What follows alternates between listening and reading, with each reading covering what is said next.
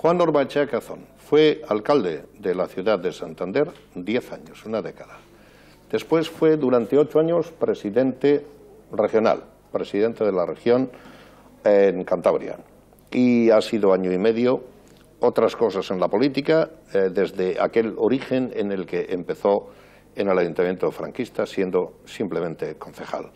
Pero nunca fue un hombre indiferente y nunca fue un hombre que estuviese ajeno a razonables polémicas porque no hurtó decisiones y convicciones eh, a veces fuertes, a veces eh, y desde luego casi siempre encontradas o no, pero compartidas porque se las ingeniaba para lograrlo en la etapa de alcalde. Juan, es una pregunta obligada. ¿Es más difícil ser alcalde o más fácil? Yo creo que era más fácil para ti. Hay quien piensa que con un orden del día y dándole a cada uno de los contrarios un poco de lo que espera, el alcalde puede conseguir lo que desea. En cambio, donde hay un parlamento no es lo mismo por el trasiego parlamentario. Ah, no sé si esto es una especie de simplismo. Ah, ¿Qué ha sido más difícil para ti? Obviamente creo que lo segundo, pero ¿cuáles son las razones con las que tú lo puedes justificar? ¿Fue la época? ¿Son los métodos? Eh, ¿Fue la oposición? Ah, sería bueno tener un pensamiento tuyo que eh, enfrente una etapa a otra y tenga una serena conclusión a la vista de nuestros telespectadores. En mi época el alcalde tenía más centralizado el poder y por lo tanto de alguna manera la acción se reflejaba más inmediatamente. En la Diputación, al haber ayuntamientos y ejercitarse el poder, por así decirlo, la función pública en esos ayuntamientos como soporte físico o como soporte de la actuación, el contar con los ayuntamientos, el estar sometido a las veleidades de determinados alcaldes, hacía quizá más compleja la situación, pero sobre todo, que no quiero aquí dejar la impresión de que los alcaldes dificultaban, el hecho de la división en, las en consejerías, por así decir, del poder, producía dificultades porque el funcionariado tendía a apropiarse de la función del consejero. Y yo, por desgracia, he de decir, cuando se habla, y aquí no me importa ser duro, cuando se habla de los compañeros útiles, no, no se me ha ido la palabra exactamente, los compañeros de viaje, o de los tontos útiles, perdón, sí, de los tontos útiles, yo voy a decir que estuve rodeado de tontos inútiles. Pero no todos, caramba. Eh, por unas cosas y otras, todos. ¿Pero hablas de políticos, funcionarios o del conjunto? No, no, de políticos. Ah. Porque cuando se piensa que la comisión de investigación, que fue el elemento base que se necesitaba para acudir a los tribunales y que se constituyó esa comisión de investigación como el beso de Judas para formalmente escandalizar y formalmente justificar a través del escándalo la moción de censura, teniendo los votos, alguno de los que tenían que ir a votar estaban de viaje, no hay quien se lo crea, ¿verdad que no? Pues esos fueron los que me acompañaron. Y eso me producía dificultades porque precisamente, no por endiosado todo lo contrario, cuando tenía que haber aplicado un control absoluto por dejar cierta facultad, se me descontrolaron. En cambio, en el segundo periodo de los cuatro años, todo papel que tenía que hacerse, todo papel que tenía que cursarse tenía que llevar mi firma. Eso me imponía pues firmar a veces pues 500 papeles diarios. Pero Juan, porque era un personalismo tuyo que lo quería supervisar todo. Porque si no me engañaban, como me engañaron. No es fácil engañar de ti. ¿En qué sentido ah, te engañaban? Porque claro, llegaba a veces al Consejo de Gobierno con validación de tal cosa y yo no conocía los expedientes.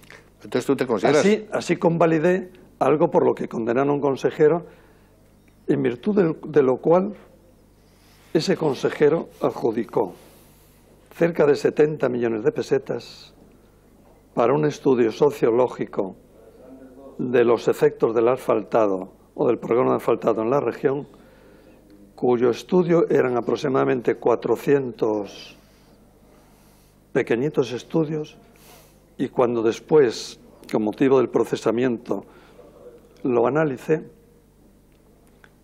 eran todos iguales. El estudio eran cuatro páginas y cambiaba cada estudio el nombre del ayuntamiento, lo demás era idéntico. Y por eso se cobró 70 millones de pesetas. A ese consejero, evidentemente, le retiré del Consejo de Gobierno. Pero es curioso que ese consejero, a ese consejero se le aplicó un indulto y a mí todavía no me han indultado. Juan, ¿tú piensas que ha sido, en cierta manera, una víctima de, tus propios colaboradores, de algún fallo de ti mismo, de la habilidad de la oposición? Ah, más que culpables en el sentido judaico de la culpa, eh, si lo miras con un poco de serenidad, de ser posible, eh, esta, esta y esta son las claves de que a mí me fuera mal en esto. Yo soy una víctima de un aspecto político. Cuando yo proclamé, proclamé en una, en una, en la Universidad Internacional de Pelayo, en, un, en, un en el diálogo además, cuando expresé, bien o mal, porque evidentemente cuando se expresa algo brevemente nunca se puede expresar bien, que quizá los problemas de ETA se hubieran solucionado con un referéndum en el País Vasco, que es lo que se llama hoy la facultad de decidir, o el autopronunciamiento, aquello fue un escándalo absoluto. Llegó a decir un señor, cuyo nombre de decir aquí, el señor Jiménez de Parga, que había que condenárseme a 12 años de cárcel. Este señor que fue ministro de Trabajo de UCD, nefasto, que luego siguió en un proceso de enchufes, y de enchufes porque no lo puedo decir de otra manera, hasta terminar como presidente del Tribunal Constitucional, presidente magistrado, en un cursus honores o honorum permanentemente de aferramiento al poder, fuera el color que fuera, y decía que por haber hablado y opinar que los problemas del País Vasco se solucionaran con un referéndum, decía que tenía que ir 12 años a la cárcel cuando ya la Constitución española estaba aprobada, porque esto fue en el 83, y la Constitución española del 79, que consagraba el derecho a la libre expresión, es algo inconcebible. Recuerdo que entonces el ínclito blanco, Jaime, de nombre, decía que atentaba contra la unidad de España. Y digo que entonces en la transición esto hubiera podido ser una solución, porque ETA es un conjunto de fuerzas católicas y comunistas que se unieron.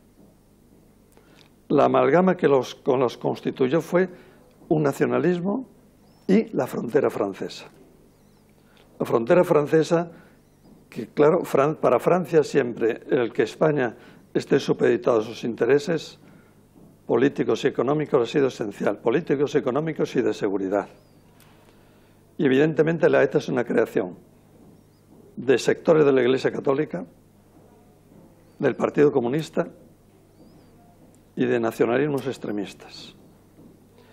Y si en el año 79 se hubiera hecho un referéndum respecto de si la sociedad vasca quería la independencia, que yo pienso que hubiera fracasado o hubieran fracasado los que pretendían la independencia estrepitosamente, no se podría decir lo mismo hoy seguramente, porque ya ha habido generaciones que pueden votar desde el año 79 que quizás mi vaticinio lo hicieran, o un posible vaticinio lo hicieran dudoso.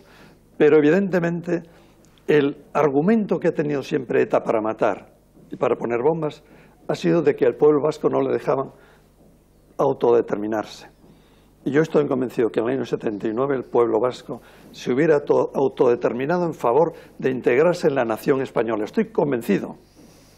Bueno, los votos fueron libres para la muy descentralizada, más que cualquier lander alemán eh, que tienen, y todavía a esos señores habría que cualificar mucho qué sector de qué iglesia, porque eh, generalizarlo tiene su peligro, pero tú y yo nos entendemos. sectores católicos. Sí, ciertos sectores, en efecto. Ciertos. Ahora, ¿cómo ves lo que ahora se está haciendo? ¿Le das un voto generoso eres cuando la opinión lo requiere al presidente para que intente hacer una paz que no hay nadie que no quiera?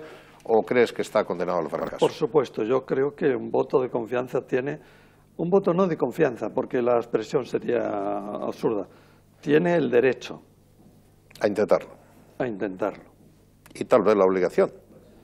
Evidentemente, cuando un político tiene derecho a hacer algo, debe intentarlo y debe hacerlo. Tiene el derecho político porque tiene unos votos y una serie de partidos que junto con los votos que tiene el Partido Socialista configuran una mayoría. Y por lo tanto, la mayoría tiene el derecho a intentarlo. Otra cosa es que el problema es complejo porque a nadie se le alcanza que ETA lo que va a pedir es la liberación de sus presos, posiblemente ese referéndum de autogobierno o de autodeterminación, casi convencidos de que no se le van a conceder para justificarles esa bandera, porque hemos visto a lo largo de la historia que determinadas banderas se alzaban a conciencia de que no tenían ninguna, ninguna virtualidad, ninguna posibilidad de triunfar, pero se alzaban a sabiendas de que como se la iban a arrebatar, podrían practicar el, irredentismo. El, victimismo. Y el victimismo. Más que el victimismo, el irredentismo. Juan, yo quiero regresar a otra cosa de interés. Tú mencionaste la UCD. Y esto fue la causa del complot. Aprovecharon algunos cuestiones personales, como Fraga y la Tocino, y, por ejemplo, y voy a decir qué causas, cuando el Consejo de Gobierno en el año 91, esto es importante que lo sepa la opinión pública, en el año 91, como se decía que el vertedero de Maruelo estaba colmatado por el Gobierno de gestión, adjudicaron en 20 días una máquina quemadora de basuras por casi desde el 91 hasta el 2027, ya era una máquina de larga duración, por 57.000 millones de pesetas. Y cuando en una reunión con cascos en mi despacho, delante del señor Pernía, le dije que eso había sido una monstruosidad y que se había hecho para financiarse los partidos, me contestó que es que el dinero de los partidos tenía que viajar por las alcantarillas. Bueno. Y cuando yo eché abajo esa adjudicación, porque se adjudicó sin tener siquiera el terreno para colocarla, en abstracto, Parece que hemos entrado en el mundo de la peste, el de las ratas que viajan el de las ratas por las alcantarillas. Pero y yo... he de decir aquí que considero que una de las mayores ratas de alcantarilla de España, en sentido político, es el señor Cascos. Bueno, yo no dije nada, me limité a ponerte la capacidad de opinar. Ahora la famosa, la famosa Terminal 4, sí. el despropósito de esa obra es absoluto. Porque si se analiza el aeropuerto de Nueva York, yo creo que el aeropuerto de Nueva York, lo que es la terminal, cabe en una de las salitas de esa terminal 4. Y yo no creo que el aeropuerto de Nueva York tenga menos viajeros que el aeropuerto de Madrid. Juan, mencionaste a la UCD, mencionaste los partidos, y yo no sé si tú te consideras un hombre de partido o no. Estuviste en varios. Estuviste como independiente con no, la derecha. Varios no bueno, Por eso estoy diciendo ahora, como independiente luego, con la coalición, en la UCD, eh, que entraste en una emergencia grave de la UCD aquí, cuando realmente casi estaban desarbolados como eh, una especie de, posible triunfante salvador de los residuos de aquella UCD. Eh, ¿Qué opinión tienes de los partidos? ¿Y ¿Te consideras un hombre de partido o honradamente piensas que tu entendimiento de las disciplinas que procedan de arriba abajo no va para una gestión cercana como era la que tú tenías conocedor del terreno. No, efectivamente. Yo recuerdo cuando el Partido Popular entonces alzó como bandera la abstención en el referéndum de la OTAN. Aquí a mí me pareció una monstruosidad absoluta, porque una de las causas de que ahora ya hay indefinición política es que ya no hay lucha este-oeste o comunismo capitalismo. Es decir, al acabarse el comunismo en Rusia han cambiado mucho las circunstancias.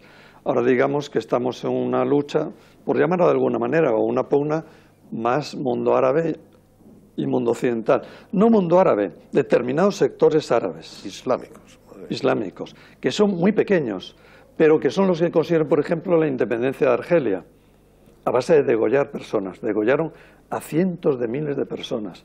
¿Y cómo actuaban esta gente? Entraban en un aduar y degollaban hombres, mujeres, niños, a todos, para impartir el terror. Pero yendo a la pregunta. Eso es, ¿tú eres un hombre que puede ser disciplinado dentro de un partido ¿O eso era casi impensable? Es que esa palabra disciplina de dentro de un partido me parece tan absurda. Yo entiendo que la disciplina es necesaria en el ejército, pero para una finalidad concreta. Pero disciplina de que el que se diga a una persona, porque intereses políticos de él, en concreto, porque aquí es un partido, son las personas que en cada momento le gobiernan y esas personas desaparecen. Entonces, decía San Francisco de Borja, o dijo, cuando se murió su rey y destaparon el sarcófago antes de enterrarle para, para digamos, para, para cerciorarle, cerciorar de, que el entierro se hacía efectivo de los restos, dijo, yo no quiero servir más al Señor que se me muera. ¿Cómo va a ser un partido que tenga que estar de rodillas ante lo que decía Fraga, de rodillas ante lo que decía Aznar, de rodillas ahora ante lo que decía Rajoy? ¿Y qué decía Fraga? Que había que abstenerse de la OTAN. ¿Qué decía Aznar? Que había que entrar en la guerra de Irak. ¿Y qué hicieron a Rajoy? Que el señor Zapatero destruye España. ¿Y qué hay que decir, Juan? ¿Y qué hay que decir? Hay que ponerse de rodillas y decir, sí, pues yo creo que...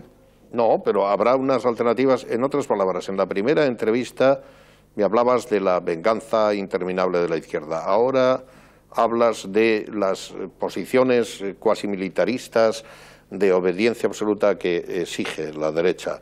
¿Qué nos queda? Nos quedaría un partido regionalista que inventaste y también murió, o si no murió están un poco por ahí sin el liderazgo. Sin liderazgo, eh, evidentemente. ¿Por qué inventaste ese partido? ¿Lo sentías de verdad? Como por causa de cuatro remitidos de prensa y el gobierno de Entre Sotos eh, publicó como unos 40, y no me estoy metiendo con Entre Sotos, cuando alguien no tiene televisión y tiene periódicos tiene que defenderse.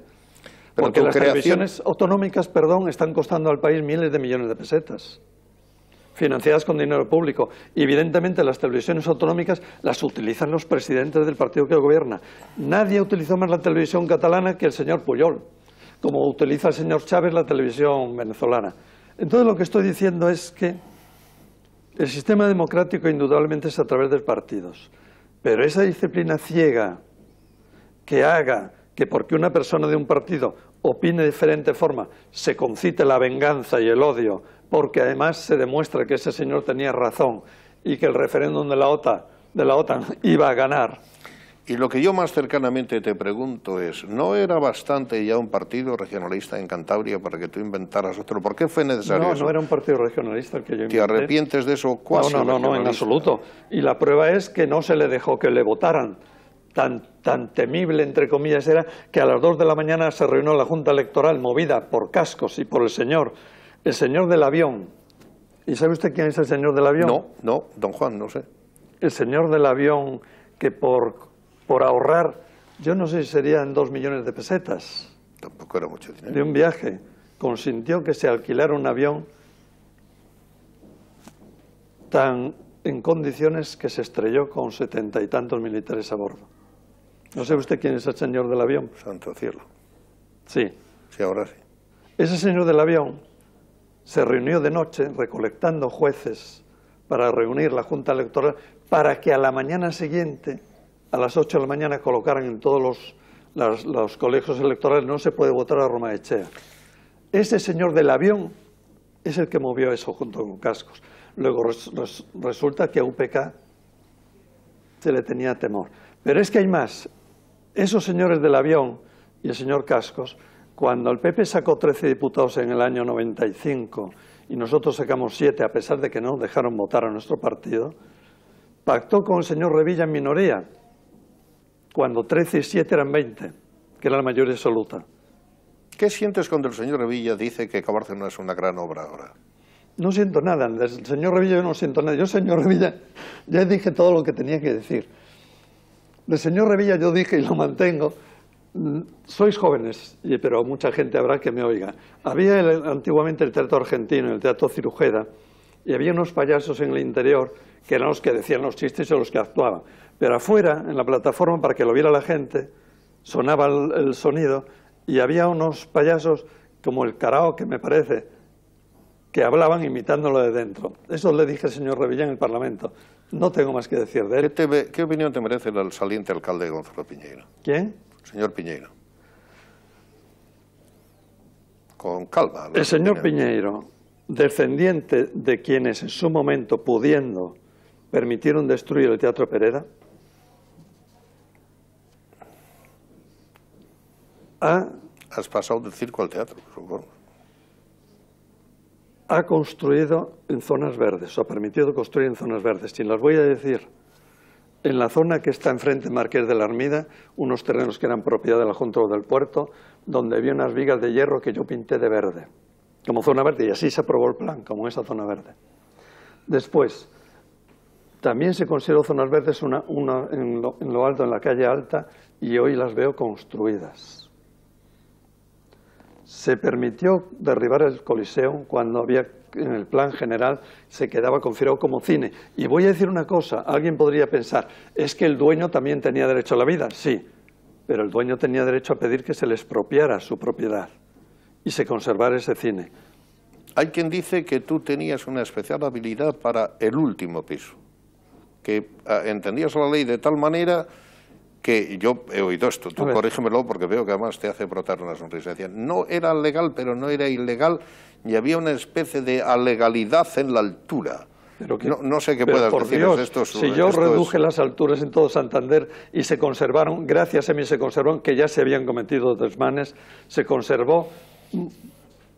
Por ejemplo, yo no hubiera consentido algo que un expresidente de Diputación hizo en la segunda línea del muelle hacia el final, construir una casa horrenda y conseguí los mejores solares para zonas verdes. Y mi última, mi última consecución, que cuando el señor alcalde actual de Santander fue a inaugurar el parque, no tuvo la dignidad de la que entiendo carece en consecuencia, de decir que ese parque lo había logrado yo en la finca de Mendicuague, tenía cuatro metros cúbicos o derecho a cuatro metros cúbicos, según el plan general, y en el avance del plan yo lo reduje a dos, pero no solamente eso, sino que exigí que los dos metros cúbicos se construyeran a los castros y quedara todo el parque que es hoy de Mendicuague, quedara en General Dávila. La pregunta que hago es la siguiente. ¿Cuánto más valdrían los pisos, los mismos pisos, el mismo volumen, las mismas alturas, de haberse construido en General Dávila o haber estado construido en la Avenida de los Castros? No puedo decir yo voy a leer aquí una serie de nombres porque quiero ir a las cosas positivas. Y pensar que el Palacio de Festivales. pensar que esa, ese trasto que se ha hecho para jugar al balonmano costó más que el Teatro de Festivales, con eso ya está todo dicho. Palacio de Festivales, a Bárceno, carretera a Bárcena Mayor, a Fuente de. Bueno, podría seguir. Estas son realizaciones importantes que nadie eh, desvincula de tu gestión. Y la consecución del objetivo 1 que no se dice, que fueron más de 100.000 millones de pesetas para esta región.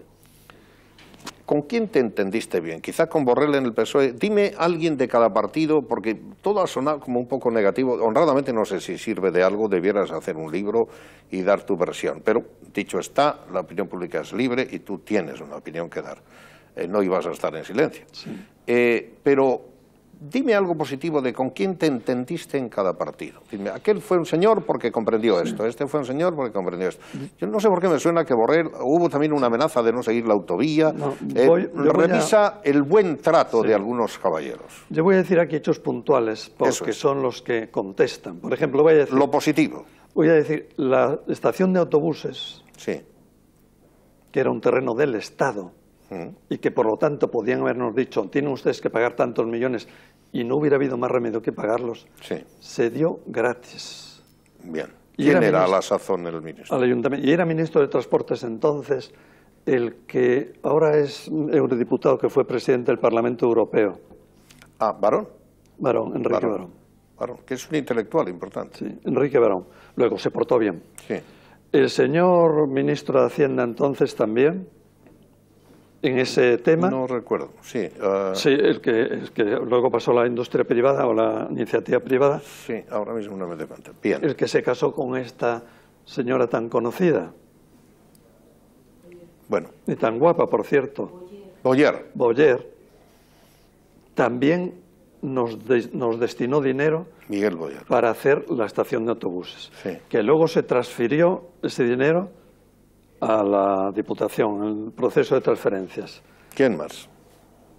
Has hablado del PSOE. Vamos a ver, estos son por ahora del PSOE. Antiguamente, Borrell, evidentemente, se comprometió a hacer la autopista en el año 91. Vino aquí en julio. que hay un conato de retrasarla o... No, lo que yo planteaba es que si no se nos hacía, podríamos llegar a concursar esa autopista, porque esa autopista Santander-Bilbao realmente admitía el peaje. O sea, en realidad amenaza- amenazaste con esa posibilidad. No era la amenaza. Yo con Borrell nunca hablé a nivel de Ya. amenazas, ni con Borrell ni con ministro, porque es absurdo. Ya. Y entonces Borrell prometió en, el- en julio del 91 terminarla y se inauguró en abril del 95. Sí. O sea, tiempo útil 92, 93, 94, tres años y pico. Ahí estamos con la autopista de la meseta que lleva 11 años Sí. y no se ha terminado. Y eh, si evalúas todo lo que se esté haciendo después de tu mandato, eh, contempla los ritmos y también eh, considera eh, realmente Oviedo, San Sebastián, tanto las ciudades, si hubiera seguido alcalde, como la región, ¿qué hubieran ganado con relación a lo que hay o qué crees que pudo hacerse que no se ha hecho? Comprendo que es una Por pregunta ejemplo, de yo mucha nunca hubiera, pero nunca- cuando se me comprometí con los comerciantes de la Plaza del Este, unos se fueron a la Plaza de México y otros se les indemnizó, yo nunca hubiera consentido que ahí se introdujeran a otras personas. Eso había que, había que derribarlo, había hecho una plaza. Pero, ¿qué, ¿cómo han prosperado otras ciudades esta no? Evidentemente, Santander tiene ahora unos 10.000 habitantes menos de cuando yo era alcalde, 10 o 12.000 menos.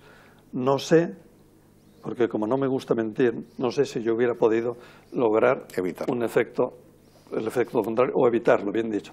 Pero, desde luego, hubiera intentado institucionalizar, que es lo que no se ha hecho, institucionalizar actuaciones. Ahí tenemos, por ejemplo, Gijón. Gijón ha institucionalizado la Semana Verde, la, perdón, la Semana Negra, ha institucionalizado un sistema de actuaciones de grandes grupos importantes que le dan cierto relieve a Gijón. Es decir, ¿qué es lo que no se ha hecho en Santander? Santander está en estos momentos decadente y además, en mi opinión, y además la monstruosidad que se ha hecho en toda la zona de lo que se llama Cueto, Sardinero, Valdenoja, es algo inconcebible. Y eso, en el plan que yo preveía, iba a ser la mayor parte de ellos chalés. Ese conjunto de casas, he de decir, por ejemplo, que cuando el señor Revilla decía en Marqués de la Armida, aquí se os ha aplastado con el hormigón, los dos únicos lugares que había, que no estaban construidos en Marqués de la Armida, que son el solar este de los hierros, que yo le pinté como zona verde, y uno enfrente se han construido. Y hay otra cosa que también considero que ha sido grave y con alevosía. La finca de la Marga, en la finca de la Marga se han construido, ya no digo la piscina, que es un servicio público, lo admito. Eso digamos que es un- una discreción que tiene derecho cualquier alcalde. Pero se ha construido el instituto. Y si alguien me dice, hombre, el instituto es necesario, sí, pero el instituto era necesario haberle hecho en las naves de coches que están al este de la finca de la Marga. ¿Y cómo se ve logrado eso? Expropiándolo, pagándolo y no tocando un parque. No se debe tocar un parque nunca. Otra monstruosidad que se ha consentido por el actual alcalde, en connivencia con el, con el consejero de Cultura, crear en una zona que yo le dejé como zona verde, la finca de maternidad, hacer ahí una escuela de, de música. Alguien dirá, ¿una escuela de música es un servicio público? Sí, pero un servicio público no tiene por qué destruir una joya. Y esa escuela de música provincial o regional se tenía que haber hecho en el, en el polígono universitario. Por fin se ha hecho la, se hace la recogida de la medalla que se le ha entregado a Fox a la salida de la presidencia de la- de la- del país azteca. Juan, tú estás en posesión de una medalla de comendador, si no me equivoco, de Panamá y dos reconocimientos, una de oro, San Luis Potosí, tan español el lugar en su tiempo, y del propio distrito. ¿Qué opinión te merece eh, esta presidencia, la candidatura que viene, aunque dijiste algo en la otra entrevista, y sobre todo la relación, la oportunidad que parece existir entre hombres de empresa eh, cántabros que han tenido éxito en México y esto? ¿Se quedará en nada o crees que esa oportunidad realmente te alegra que se, se propicie y que tenga sentido? Que se le dé una medalla de oro de la región a un expresidente no me parece mal. Aquí se la di yo al expresidente de la Madrid que se la impusimos Ciertamente, que no en, pudo... el, en, el, Palacio de la Magdalena. Sí. Porque eso viene bien por la relación en México-España o Santander-México. Pero desde el punto de vista práctico, los negocios hoy ya no son cuestión de medallas, son cuestión de precios, cuestión, es muy complicado y muy complejo. Las relaciones España-México comercialmente... No, y Cantabria-México, Sí. la vinculación pero del paisanaje. no son muy grandes. Entonces, sin embargo, conservar la historia, que se rememore la historia, que la presencia de Cantabria en la historia de México se reavive, sí es importante. Y están trabajando en ello también la universidad. Hay un libro publicado por Sí. una, una universidad americana que dice Mineros en México, en la que es emocionante la relación que hace un catedrático americano de cómo los mineros montañeses eran los más importantes de México junto con los vizcaínos. Sí, Entonces, los mineros montañeses tenían como patrón al Cristo de Burgos sí. y los vizcaínos a la Virgen de Aránzazu, me parece. Eso es muy importante, que se rememore esa, se rememore esa historia. Pero en cuanto a las relaciones comerciales son, es otra cosa. Y tu entendimiento del regionalismo, Juan. Has hablado puntualmente de lo que no se debía hacer, de fincas que estaban de verde y han terminado ah, con permisividad. Eran asuntos puntuales muy eh, urbanísticos, muy de la ciudad. Hablando de la región, ¿realmente eh, cuál fue el sector al que no dedicaste eh, toda la atención que hubieras deseado? ¿Fue la ganadería? A pesar de la historia del toro, de... No le porque dediqué. ahora está sufriendo mucho, entonces no sé si nunca se le dedica o... Le dediqué mucha atención, es más, precisamente nosotros creamos una, una institución que era el trasplante de embriones que está funcionando como sin parangón quizá en España. Sí, sí. Y es la única, el único camino. ¿Crees que se anecdotizó lo del toro en exceso? Aunque Bueno, por un lado este vino país bien. no estaba era- acostumbrado a... Es que este país no está acostumbrado a esos temas. Ya. Cuando se hablaba del toro de un millón de dólares, Mm. que no era un toro, nos compramos dos toros por ese precio. Cuando ahora se piensa, si se supiera, y no se piensa porque no se sabe, que por ejemplo, el padre de este caballo, que yo le seguí la pista cuando estaba en Nueva York hace unos días, bueno, hace ya dos meses, de Bárbaro, que tuvo una lesión tremenda en la arrancada de la salida, Sí. que había ganado el derby de Kentucky por la... Hacía, me parece que era 150 años en los que había memoria, que nunca había ganado un caballo con tantos largos, seis largos y medio, y se lesionó. Pues bien, el padre de este bárbaro cobran por cubrir una yegua 58 millones de pesetas. Solo por cubrirla, a riesgo y ventura. Y a la yegua no le pagan nada, la pobre. La, la yegua, Se conforma. la yegua se conforma, la yegua la, la llevan los dueños y la pobre, Alguien va a decir que hemos hecho un comentario machista, estoy seguro. pues posible. Bueno.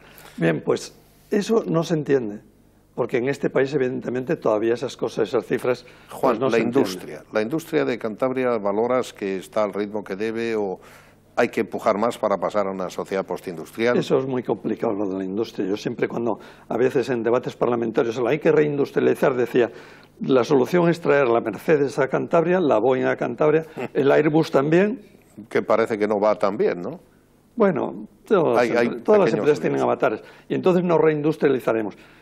Hay un tema sintomático en relación a la industria. En la época de mi gobierno se publicaron libros con el detalle de todo el empleo industrial.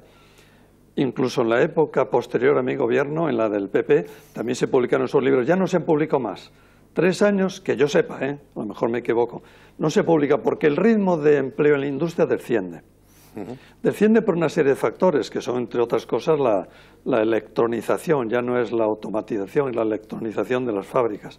Y desciende también porque la creación de industrias en Cantabria, en, los años en que se crearon, obedecían normalmente a cuestiones políticas, familiares, de yacimientos, y esos tres factores han desaparecido. una de las empresas más, más punteras de Cantabria es la de la que fabrica vasijas para centrales atómicas. Esa la trajo un ministro de Industria al que no se le ha agradecido bastante. Que sigue este hombre al pie del cañón, sigue siendo presidente de una hidroeléctrica. No recuerdo su nombre. Cuevas, ¿no? No, Cuevas no. Mm. Era ministro de Industria. No me acuerdo ahora. Repsol también la trajeron. Otra, el rey de España, Alfonso XIII, por su influencia se instaló la fábrica de cables de, de Camargo Hoy ya, no hoy ya eso es irrepetible. Entonces no estamos bien situados para competir con la posibilidad de industrias, de instalación de industrias. Si hoy una empresa con un capital, yo diría que para hacer una industria hablemos de 20.000 millones de pesetas, subastara, entre comillas, la posibilidad de la instalación de su industria, nosotros nunca podríamos competir.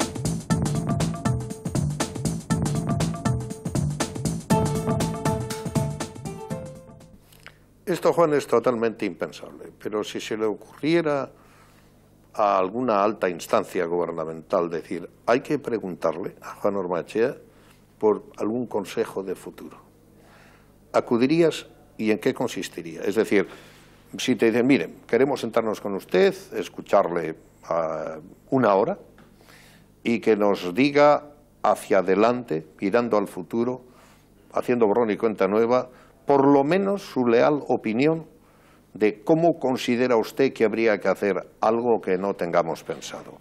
¿Qué gran consejo darías de verdad? Voy a decir tres cosas, y esto ya lo dije en una reunión en el Senado. El Senado español, que es absolutamente inoperante, habría que reestructurarle introduciendo personas que estuvieran ya por encima del bien y del mal, que las hay, por edad, por economía, por capacidad, por relieve, para que pudieran aconsejar y pronunciarse sobre grandes proyectos. Por ejemplo, hemos tenido un debate intenso sobre un gran proyecto, que era el del trasvase del agua, que el PSOE nada más llegar le anuló, planteando sustituirle por desaladoras. Yo no me puedo pronunciar en favor o en contra de un, porque no lo conozco, son temas muy técnicos. Pues en esos temas convenía que hubiera un Senado con personas muy formadas que tuvieran al mismo tiempo medios económicos para solicitar estudios, para poder pronunciarse porque en estos temas de trascendencia hay que evitar el sectarismo político.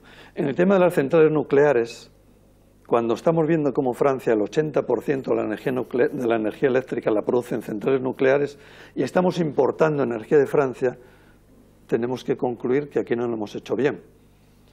Y tenemos que concluir que ese sector, que es heredero del Partido Comunista, y el Partido Comunista actuaba a las órdenes de Moscú para que Europa no se desarrollara y el vacío o la distancia económica entre el mundo occidental y el mundo soviético no se ahondara y entonces intentaba impedir que se construyeran centrales nucleares, esa herencia hay que decirles, no están ustedes ya en disfrutar de esa herencia porque no la han tenido. Entonces habría que iniciar el tema de las centrales nucleares o reiniciarle, porque es evidente. Alguien va a pensar que hemos hablado fuera de las cámaras de esto y no habíamos dicho una sola palabra. Es evidente que el petróleo va a seguir creciendo en precio. Carbón no tenemos. El carbón, y extinguiéndose. Las plataformas continentales no, carbón no, tenemos. procrean. Entonces es indudable que habría que construir centrales nucleares. Yo diría que no menos de seis grandes centrales. A mí me gusta oírte, Juan, cosas positivas, aunque sea mirando hacia atrás cita tres grandes hombres a los que la Tierra debe mucho. ¿A los que esta Tierra? Sí. Mirando al pasado, ¿qué pues grandes tipos que hemos Pelayo, Emilio Botín, y quizá me olvide alguno y lo siento. ¿Y ah, Pedro Escalante fue un gran político?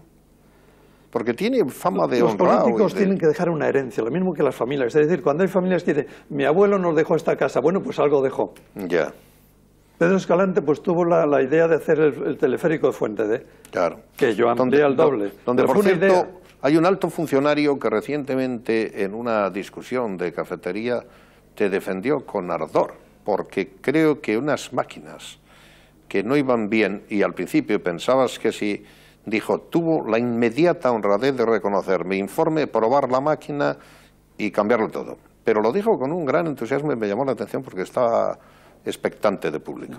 Hablando de unas máquinas que no hacían bien el primer asunto de la nieve en, en Fuente D. A veces hay esos reconocimientos eh, sociales que no... aunque esto pertenece a la primera que no te dice, ¿por qué no apareces más socialmente? Con la gente porque a tomar nunca aparecí socialmente antes de, antes de no, entrar en política. pero bueno, salíamos algo cambiar, más. Porque iba a cambiar de comportamiento y de línea No, bueno, claro, te veían eh, todos más, porque claro, por razones... Vieran más. También se le veía al señor Aznar y ahora se le ve menos. Ya, es cierto. No digamos nada del señor Suárez, con independencia, que ya no lo sé de su estado de salud. Sí. Es lógico, y a Felipe González también se le veía más. Sí. Es lógico, es más, para mí era un gran sacrificio el gran número de actos a los que tenía que ir. No porque en ellos me lo pasara mal, que luego cuando iba me alegraba, pero el hecho de tener que ir, el hecho de decir a tal hora tengo que estar allí. No, me salías a las diez y media de trabajar, por tanto era ya sufrimiento. Me gustaba trabajar en soledad y me gusta. Juan, ¿qué queda políticamente por hacer en tu caso? ¿Hay alguna reivindicación que esperas? Algún, ¿Alguna revocación? que, que se acepte reconocer el complot que hubo, económico, político. ¿Quién tiene que aceptar ese reconocimiento? Pues indudablemente no sabría quién tendría que aceptarle. O sea, sí lo sé, pero no lo voy a decir. Quiero decir, no lo puedo decir. No, no, no ¿Y ¿Cómo se llegó aquí? ¿Cómo llegó el señor Fraga? Por razones anímicas y afectivas, con determinada persona, a imponernos a Jaime Blanco como presidente de la Diputación. Es algo inconcebible. Esa traición es algo inconcebible. Esa traición de alguna manera, reivindicaría un regionalismo hasta violento en relación a lo que hay. No, digas eso, Juan, que hasta ahora habíamos ido no, muy bien. violento, no voy a decir de violencia física. Ya, espero que no. Hasta violento para prescindir de ataduras de un partido. ¿Cómo es posible que un señor que está en Galicia, y que por cierto ha fracasado absolutamente en Galicia, no, hombre, tampoco ha fracasado absolutamente, porque nadie ha tenido en España más apoyo en una autonomía que el señor Fraga. Con lo bien que veníamos hasta aquí, Juan tengo que decirlo porque es así. Ocho años, un gobierno de la nación supeditado, entregado, totalmente, todas las inversiones, todos los hechos, todas las ayudas a Galicia, y no es capaz de ganar las elecciones. Si ahora te viniese alguien... Eso es increíble, eso es increíble. Yo ganaba las elecciones a pesar de que el gobierno, con independencia de algún ministro, genéricamente ponían las zancadillas. Y es decir que el señor Borrell en alguna ocasión me dijo, no te podemos conceder esto porque entonces me hacen dimitir. Que fue cuando la señora, que es ahora ministra de Ecología y Medio Ambiente, publicó en el Boletín Oficial del Estado como normas de interés nacional o general el saneamiento de la bahía o las marismas de Santoña, Ampuero y el saneamiento del Besaya. Y dijo, y el, saneamiento de la bahía para después, porque ahora no lo podemos hacer porque nos echan a los dos, a Borrell y a ella. Que luego el saneamiento de la bahía no se consiguió de Europa. Cuando se dice no hemos conseguido de Europa, se consiguió porque consiguió el objetivo 1 y se gastó el dinero de Europa cuando tenía que haberse exigido que fuera el gobierno de la nación el que aportara la mitad. A propósito, hay quien dice que tú descuidabas, entre las pocas cosas que de negligencias, se te acusó de no pedir el dinero europeo a tiempo. Pero ¿cómo es eso? Sí, cuando yo llegué ya, cuando yo llegué estaban los informes, cuando yo llegué en el 88, los informes del gobierno de la nación, en base a los cuales Europa concedía el objetivo 1, ya estaban enviados y nadie había objetado a ellos. Y fue después cuando machaconamente, insistentemente, luché, que vino incluso a este hotel, aquí tuvimos una cena de trabajo con el que era entonces comisario precisamente de esta rama, por así decir, y con una serie de datos y me concedieron el objetivo 1. que estos señores le han perdido, cuando sin embargo Valencia le conserva. ¿Alguien cree que Valencia es más, es más pobre que Cantabria? Lo que sucede es que en Valencia hicieron el siguiente truco, consentido por el gobierno de la nación, el gobierno popular, y es que a todos los veraneantes los dieron de alta como población de hecho y de derecho de, Valencia, con lo cual su índice, su renta per cápita disminuyó. Pero eso se hizo con el consentimiento de la nación, con el consentimiento y con la complicidad. Y por esa causa echaron a Cantabria del Objetivo 1. ¿Tienes la intención alguna vez de publicar un libro, explicar... Lo tengo casi escrito, explicando el complot. ¿Sí? Eh, tengo que hacer un trabajo de reducción, porque son mil y pico páginas. Ya. ¿Y crees de verdad que se irá alguna vez de tu cabeza eh, la fuerza con la que de manera recurrente vuelves a eso, teniendo tantísimas cosas de que, que hablar. Es inconcebible que se violara, por única vez que yo conozco un país democrático, el derecho al libre voto diciéndole a los guardias, a la gente en Santander concretamente, cuando estaba en la cola, no se puede votar Ormaechea. Y mucha gente me dice, todavía me lo dice, como me dijeron eso me fui. Porque se podía votar Ormaechea.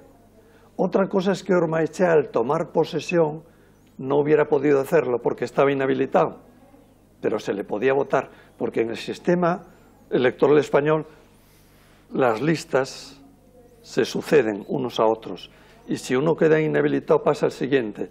Y se urdió esto por el señor que alquiló un avión para ahorrarse dos millones de pesetas y le mandó con militares Federico Trillo, no este estamos diciendo Exactamente. Figueroa, no hay que olvidar ese nombre ilustre. En efecto. Figueroa. Yo tengo que decir, cercanos al final de esto, que una especie de revisionismo hacia atrás no está mal, no sé si será útil, pero creo que se te debía la posibilidad de una explicación pública de tu manera de sentir sobre la ciudad, sobre tu propio enjuiciamiento del trabajo político realizado durante tantos años. Yo tuve una extraordinaria relación, porque fue compañero mío con Pepe Tocino, por extensión, aunque no la he tratado de manera directa, no la he tenido mala con Isabel, ¿irías a comer con ella? ¿Con quién? Isabel Tocino, en, un momento dado. En jamás. Jamás. No entiendes nada de lo que eh, cristianamente se ve como posibilidades de conciliar puntos para mí que una persona o unas personas utilicen sus relaciones afectivas, y digo afectivas por no decir otra cosa, para desposeer a una región de su elegido en las urnas me parece algo inconcebible. Juan, ¿qué hay? Y, a cambio, no poner a uno de su propio partido, que todavía podría tener alguna justificación, poner a Jaime Blanco de presidente. El señor Blanco, en esos meses, obtuvo un crédito del Banco de Santander al 16%. Fuiste acusado de entenderte bien con él en un momento dado. Es que eso es una cuestión diferente. Pero ocurrió también... Y se gastaron los 2.000 millones de pesetas en subvenciones. Si se te preguntara ahora... Dos mil millones de pesetas, pero es más. Pidieron a Europa mil millones de pesetas para el primer pago de la máquina de basuras respecto de la que no tenían suelo y se gastaron el primer pago, el adelanto de mil millones de pesetas, también en subvenciones. Y como después no se pudo conseguir el suelo para hacer esa máquina, porque yo propuse el de Meruelo y se negó la asamblea y propusieron el de un amigo de ellos que tenía un terreno en Torre la Vega, y digo amigo entre comillas porque quizá no tenga motivos para asegurarlo, se perdieron otros mil millones. o sea que cuatro mil millones de pesetas dilapidados absolutamente. Y nadie ha protestado. Y yo estoy aquí inhabilitado por ochocientas mil pesetas de cuatro remitidos de prensa. ¿Cómo no voy a estar intentando y yendo y girando y e indagando y obteniendo documentación? Penosamente la obtengo porque no se me da fácilmente, pero la estoy obteniendo. No sé a dónde llevará esto. Aunque me falta por obtener que la Diputación se niega a certificarme quién es el que ordenó el pago de los remitidos, porque en la, la condena se dice y ordenó el pago cuando el presidente de la Diputación no es ordenador de pagos, ni tiene siquiera firma. Y yo no creo que el interventor y el tesorero, dos funcionarios del Estado,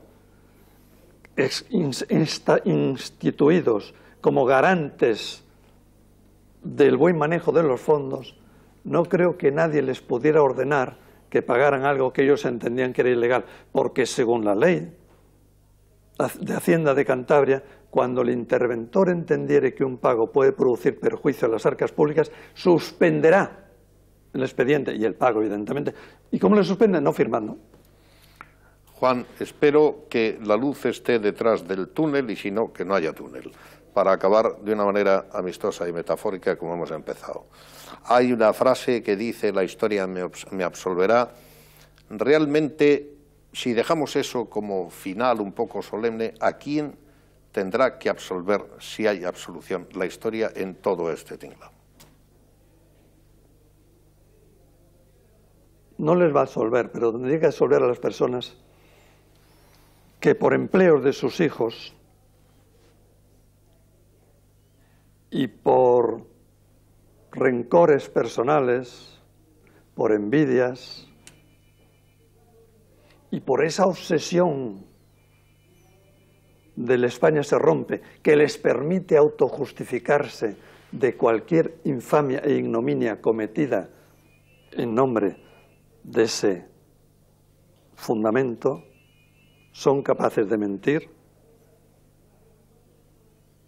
y son capaces de privar a una región de su representación legítima.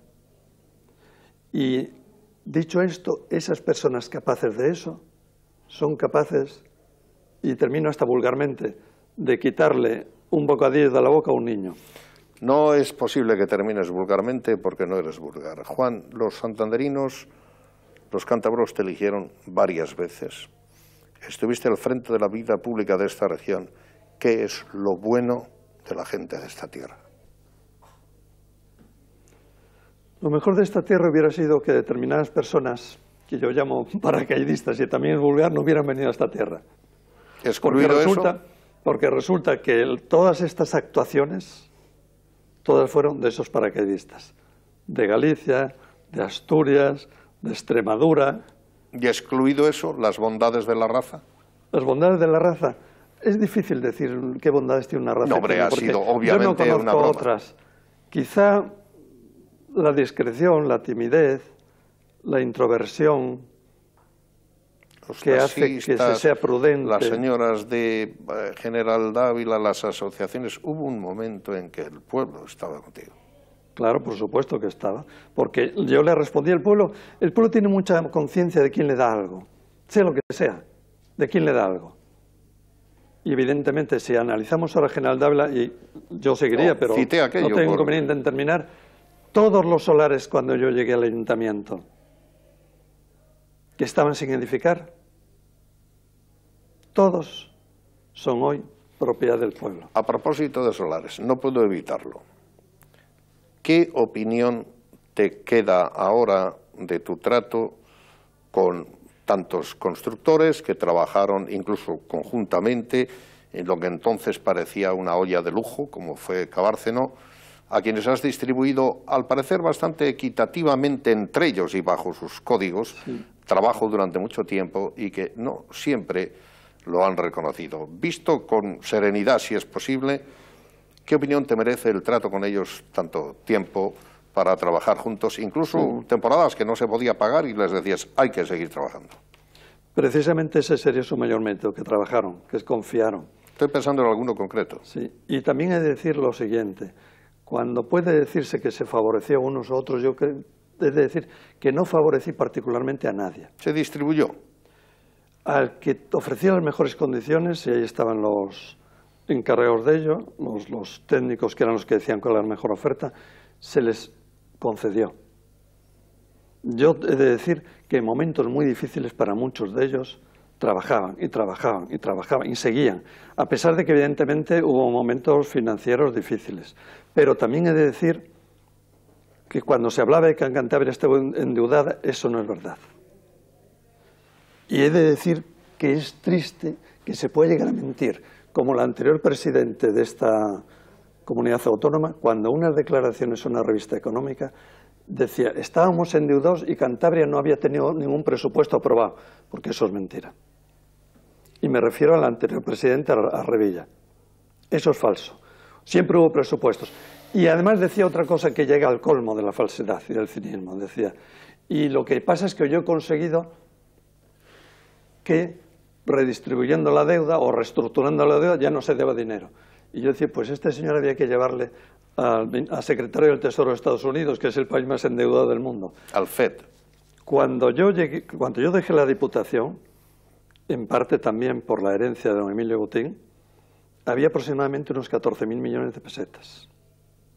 Y la prueba es que yo me voy en julio y el siguiente trimestre que termina empieza en octubre, la deuda de Cantabria era bajísima, ya vendí tantos mil millones, porque se había aplicado aquel dinero a los 50.000 millones que debíamos. Pero ¿cómo se puede mentir así y para qué se puede mentir así? Omnis homo mendax, todo hombre es mentiroso. Ah, no es lo mismo una white lie.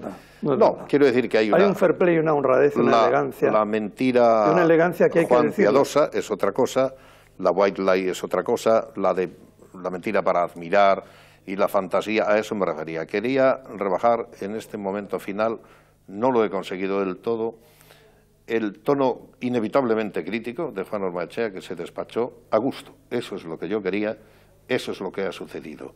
No hurtó, sin embargo, la capacidad de sentarse, si fuere convocado, es un desideratum metafísicamente imposible, pero de una manera generosa fue capaz de decir qué recomendaría.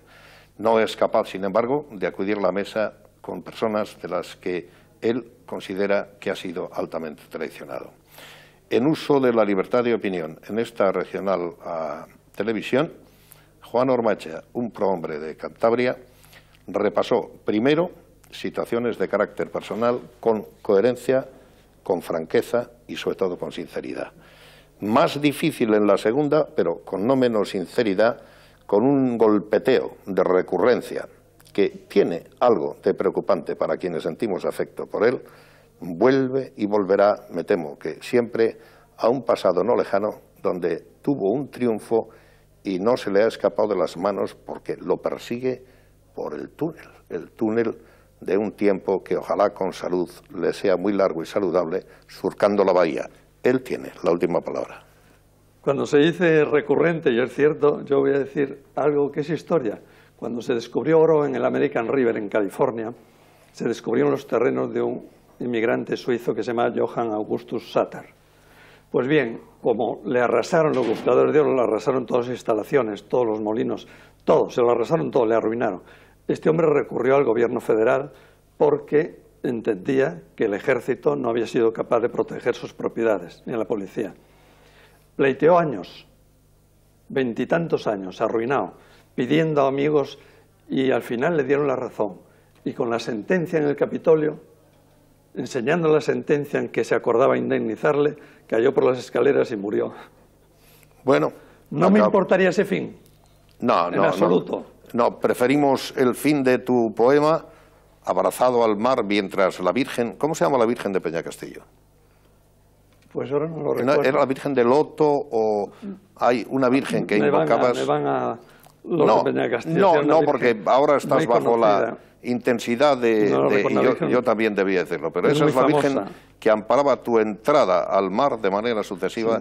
Es más épico, pero creo que morirás perfectamente acunado por María Elena, que es lo que corresponde. Gracias, Juan Ormache. Muy bien.